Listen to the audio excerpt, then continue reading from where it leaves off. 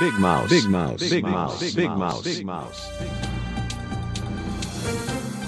안윤상은 빅마우스입니다. 우리나라는 매년 1월 1일에 한 살씩 더하는 나이 계산법을 사용하고 있는데요.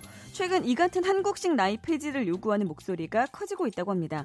우리나라에서만 이 같은 나이 셈법이 쓰이다 보니 한국식 나이와 만 나이 외에 현재 연도에서 출생 연도를 뺀 연 나이도 사용돼서 한 사람 나이가 무려 세 가지로 달라지는 불편함이 발생하는데요.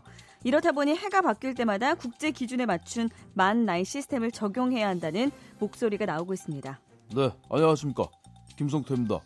사실상 한국식 나이 계산법이면 12월 31일에 태어난 아이는 사실상 하루 만에 억울하게 두 살이나 먹게 되는 것이고 사실상 빠른 연생들은 그 고무줄 나이라 사실상 학교 같이 다닐 친구들한테 동생 취급받으면서 놀림을 당하고 사실상 동갑한테는 어른 대접 받고 싶어하는 사람처럼 되는 것이며 사실상 그러다 또래 친구들이 다 모이면 빠른 연생들 때문에 족보가 다 꼬여서 구벅대기가 되어버리기 때문에 네 하루빨리 나이법이 정리가 돼야 된다고 저는 말씀드리는 바입니다. 안녕하십니까. 위에서 내려온 84년생 김정훈입니다. 네, 그 빠른 년생입니다. 84년 1월 8일. 눈치가 있으면 며칠 후가 저의 생일이라는 것을 82년 개띠 은영 누님이 알아채겠듯이 보소리 여러 그럼 오렴살이 먼 곳까지 내려왔음 아 멀다고 말하면 안 되겠구나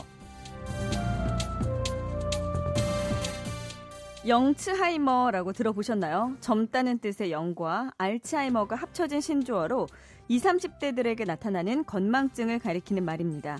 전문가들은 젊은 세대가 겪는 건망증의 가장 큰 원인으로 지나친 스마트폰 의존을 지목하고 있습니다.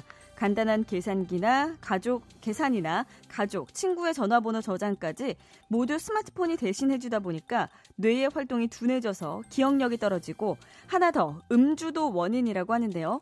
과음 후 일시적으로 기억을 잃는 블랙아웃이 반복되면 단기 기억을 저장하는 능력이 떨어질 수 있다고 합니다. 까꿍 상당히 오랜만입니다. 지나는 국민 여러분 MB가 인사를 드립니다. 항소심 재판 때문에 석달 만에 어제 얼굴 좀 비쳤는데 다들 저를 잊지는 않으셨는지요? 영차하이머? 저는 막 요즘 프츠하이머라는 거를 앓고 있는 것입니다. 프츠하이머요? 그건 뭐죠? 처음 들어보는 말인데요. 당연히 그럴 겁니다. 이것은 막 제가 만들었어요. 감옥이라는 뜻의 prison, 알츠하이머가 합쳐진 그 제가 만들어낸 아주 창의력 돋는 단어입니다.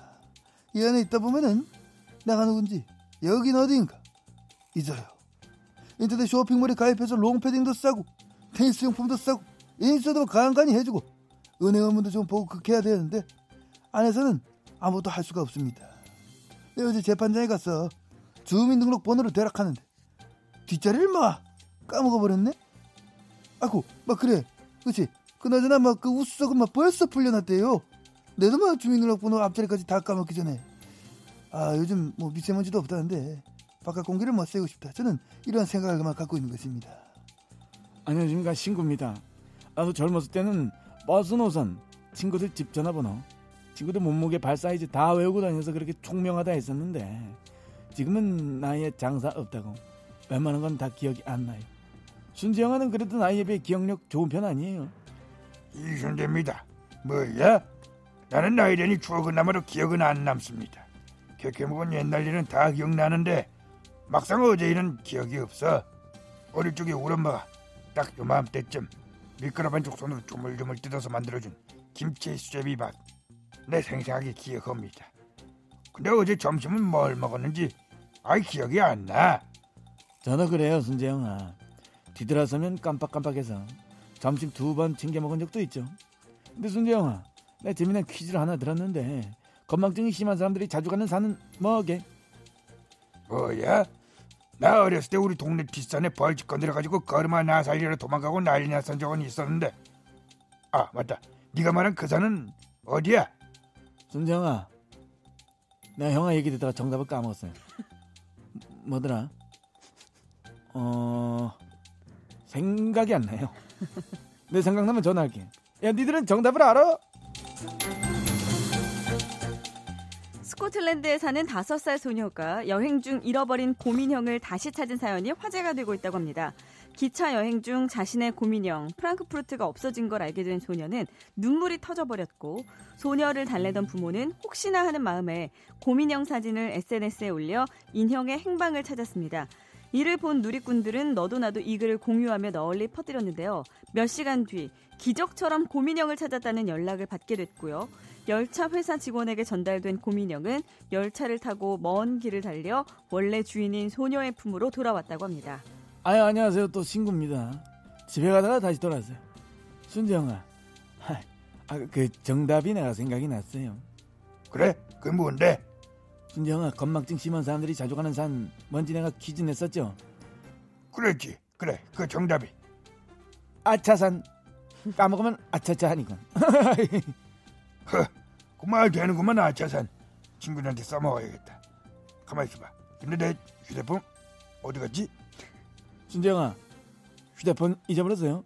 혹시 모르니까 박 과장한테 말해서 방송국에 그저 휴대폰 수배 좀 해달라고 해요.